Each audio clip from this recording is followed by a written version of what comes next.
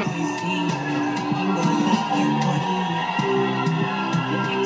definitely came ready to slay. that's what's up, that's what's up, that's what's up. Come on here. Aha! You came ready. You definitely came ready. What's happening?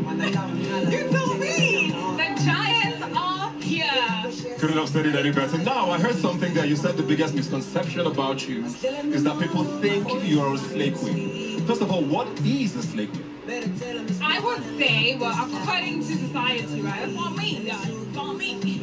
According to society, I believe a slay queen is someone who gets money from men and not really works for it.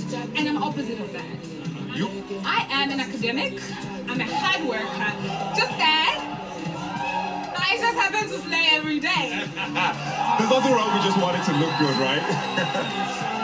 what are you most excited about learning about Nigeria? Oh my goodness. Uh, so I'm excited. Um, learning to cook the food. That's what most excites me because I actually happen to be dating a Nigerian man. Okay, So so this feels familiar. yeah, yeah, this is home for me. So now I'll get a chance to actually try out and cook Nigerian food. Super excited about that. Are you feeling very secure about your relationship? Well, well, you know the house will be full of Nigerian men.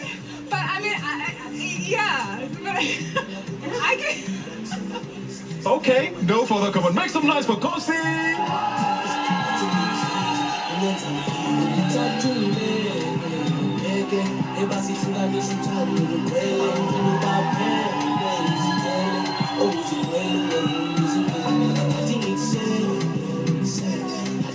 At least I respect the honesty. She's not trying to, like, you know, say what she's not gonna do. We'll look out for that one. We'll see her again shortly as I make